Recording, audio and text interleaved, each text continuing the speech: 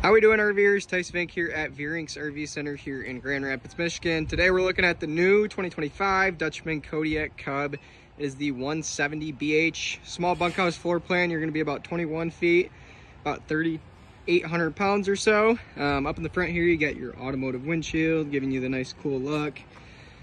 Two LP tanks, power um, tongue jack. Battery sits right there with a battery disconnect switch you will have a pass-through storage up in the front here that goes under the bed. Um, stabilizer jacks in all four corners. Solid entry steps. You'll get the nice G-glass door up front. Power on and going across the good amount of the coach. Single axle. Um, with your off-road tires on this one. You'll get the back hatch door under the bunks.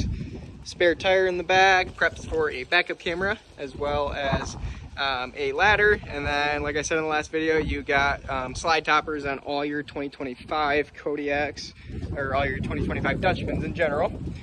And then on the inside here, get a little bit of storage underneath the front bed up here. Like I said, you get a pass through on that back half of the bed up front. You got TV in here, storage above, nice window, window on the side as well um, cubby storage on the side of the bed. And then you'll get your slide out with the dinette. Storage underneath the booths. This table does all those also drop down for an extra sleeping space as well.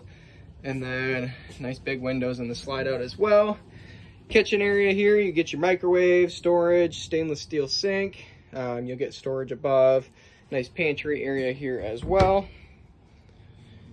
And then your bunks right here single over single with that hatch door, 12 volt fridge, and then your back bathroom here, foot flush toilet, medicine cabinet, and then a nice shower. So overall, guys, this is the 2025 Dutchmen Kodiak Cub 170 BH.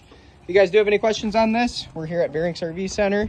Give me a call at 616-965-9629. Again, 616-965-9629.